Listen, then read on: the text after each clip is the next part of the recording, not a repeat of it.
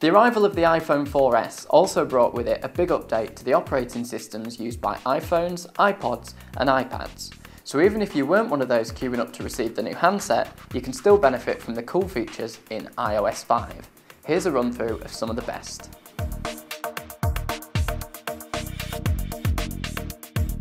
With the new iOS 5, all new software updates will be available straight to your device, so you won't need to connect to iTunes on your computer ever again.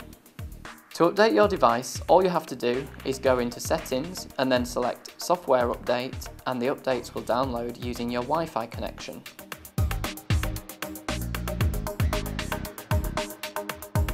The upgrade also means you can now sync your Apple devices over a shared Wi-Fi connection.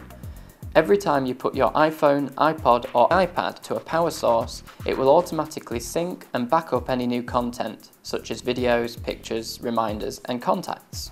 On the new iCloud function, you can store photos, apps, documents and music you've purchased. And you even get 5GB free storage. Unfortunately, using the iCloud for TV shows and films is only available in the US at the moment. With the new iOS 5, Apple has changed the way you receive messages and notifications. When you receive a new notification, it will appear at the top of the screen like this. You can drag it down, which will open the notification center.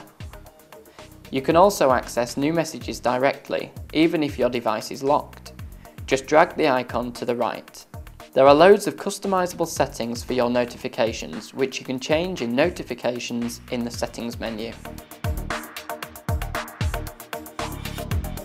The new Reminders feature on the iOS 5 is quite handy, and you can create to-do lists with deadlines and alarms.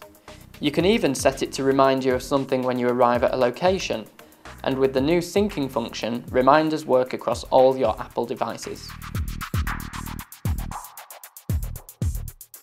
Apple has also upgraded its messaging system, so you can send free text to other iOS 5 devices when connected to the internet.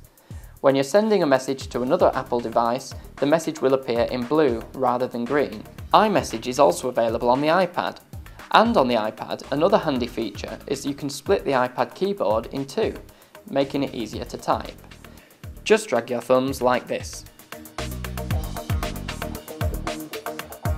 You can now access your camera straight from the lock screen by double clicking on the home button and then the camera icon.